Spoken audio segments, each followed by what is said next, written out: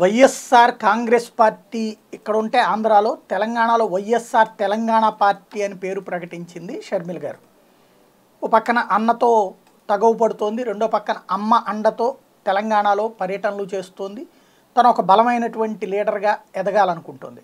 ఆమెని ఎలాగైనా సరే రెచ్చగొట్టి ఆంధ్రాకి తీసుకొచ్చి రాజకీయం చేయించాలన్నటువంటి ప్రయత్నం మరోవైపున ఒక సెక్షన్ ఆఫ్ మీడియా సీరియస్గా చేస్తోంది.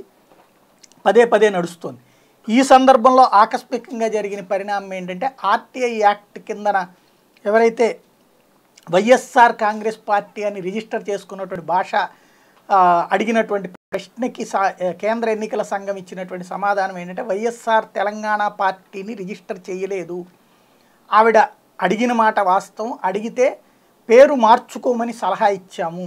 వేరే పేరు ఇవ్వమని సలహా ఇచ్చాము అన్నటువంటిది చెప్పిందన్నది భాషా గారు ప్రస్తావిస్తున్నటువంటి అంశం వైఎస్ఆర్ పార్టీ జాతీయ అధ్యక్షుడు మహబూబ్ భాషా సమాచార హక్కు చట్టం కింద కోరిన సమాచారానికి భారత ఎన్నికల సంఘం ఈ మేరకు రాతపూర్వకంగా సమాధానం ఇచ్చినట్టు ప్రకటించారు.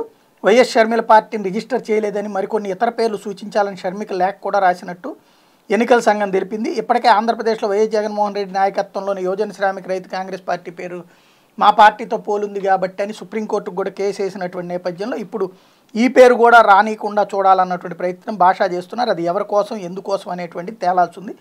ఈ ఈ నెల మూడో తేదీ తారీఖున ఈ లేఖ రాసింది అన్నటువంటిది ఆయన చెప్తున్నటువంటి మాట.